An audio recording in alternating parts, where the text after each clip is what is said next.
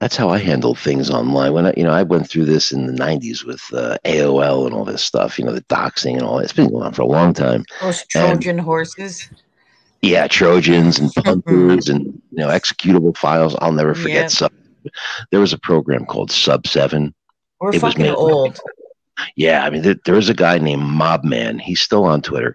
Um, he made a program called Sub Seven, and pretty much it was a Trojan horse. And with the executable file, you could disguise it as a movie.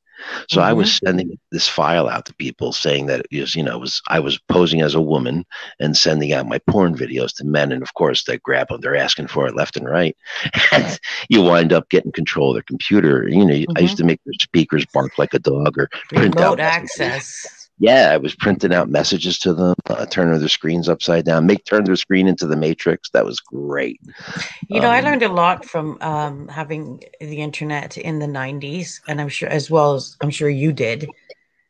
You know, yeah, so there was a lot of lessons learned, like as far as how the internet like shit worked and some important shit. You know, I mean, not that I did, yeah. but yeah, I mean that that, and there, if you found out where someone lived and they were close to you and they tried pulling some shit on you, man, you were going to get doorstepped. I, I did it to a guy. I showed up at his house in New York City, and I was like, that's close enough for me. I didn't threaten him. I didn't say a goddamn word. All of a sudden, next thing you know, I was standing at his front door. Knock, knock.